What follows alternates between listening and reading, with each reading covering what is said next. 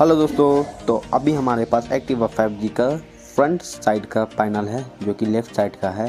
तो पहले मैं इसका एमआरपी दिखा देता हूँ। ये दस सौ निन्यानवे का है, लगभग ऑलमोस्ट ग्यारह सौ रुपये और ये होंडा का ओरिजिनल जेनविन पार्ट है।